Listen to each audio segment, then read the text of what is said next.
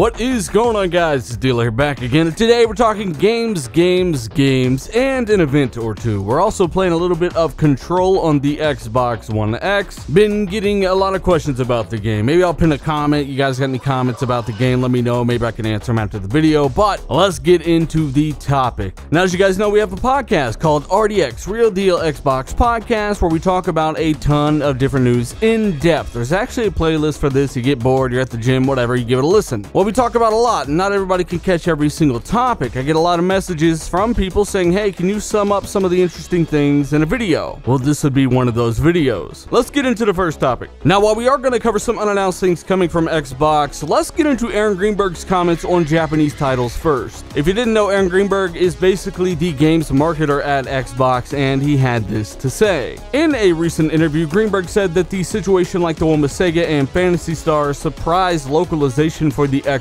One is in fact mutually beneficial as it provides Microsoft and the Xbox with Japanese themed content. This exposes a certain audience, in turn hopefully rewarding Japanese creativity. Now while speaking on this, he says it's great for us, it's great for Sega, and kudos to Phil for building these relationships. Kudos to Phil for going to Japan over and over to meet with those teams. He says, What's great is if you go on those types of trips with Phil, he sits down there and actually plays those types of games. He gets deep into the weeds. Aaron concludes by saying, It's fun. It's what makes the industry so fun. It's the love of games and how games bring joy to people's lives. Some of the best creators in the world are from Japan. And if we can help bring their creations and their creativity to a broader market, I think that's a great thing. Now, first and foremost, let me know if you guys think that's a great thing. Honestly, even though I'm not into these types of games Aaron is talking about, I completely understand why they are doing this. I also agree with what he says on the fact that gaming is really about fun. It's about joy, it's about escaping problems, and too many have gone out of their own way to turn it into something negative. Leveraging drama and propaganda, well, of course, for what we all don't like negativity. But regarding Japanese support on Xbox, let me know your thoughts. I think with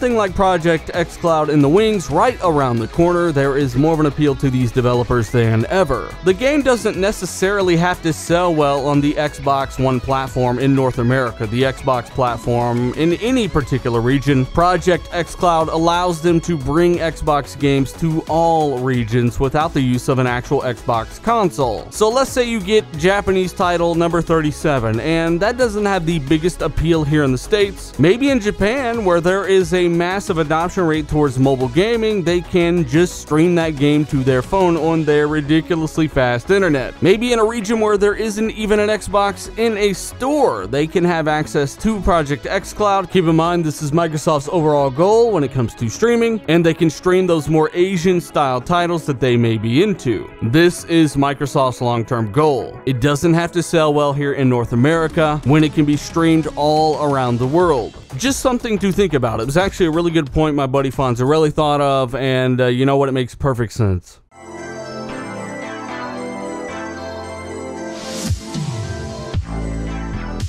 Next up, yet another interview by Aaron Greenberg. Yes, this guy's been out there doing work here lately, and he has a lot to say on 2019's XO 2019. Some really interesting stuff here. Greenberg says that they have some surprises in store. He reiterates this a few times in the interview. He also says we have a lot of content coming from both Xbox Game Studios as well as third party partners. He did actually follow this up elsewhere and say that they actually have unannounced games that will be at X019. Now the question is, are they first or third party, maybe even both? And what are these games? I've heard people saying Fable. Honestly, I do not believe that will be the case. I've heard people talk about a few other titles. My question to you is, what games do you think will be at X019? Do you think they'll be big titles like the next Fable game, something that they would traditionally leave for E3, or perhaps something smaller? Let me know down below. Also, and just as importantly, are there new studio acquisitions to announce. Keep in mind that at last year's X018, they did announce studios like Obsidian and inXile. But hey, let me know your thoughts down below. Of course, share this with a buddy, hit that like button if you enjoyed the video, maybe learn something today, and of course, I am always trying to keep up with the latest in the world of Xbox. Anything new that happens, I try to keep you guys up to date, and we are all looking forward to more games from Microsoft. Speaking of new and more games, we are getting Gears of War 5 here soon. I will have an early copy and I will have a review up on that embargo date, so keep it locked here. I do appreciate the support, guys. You guys are absolutely phenomenal. Check the description for the link to the source of this information, as always. And of course, there's a Patreon link if you want to join the channel, support the content that you may or may not like. Hit that join button. Again, I'm Dealer. I'm out.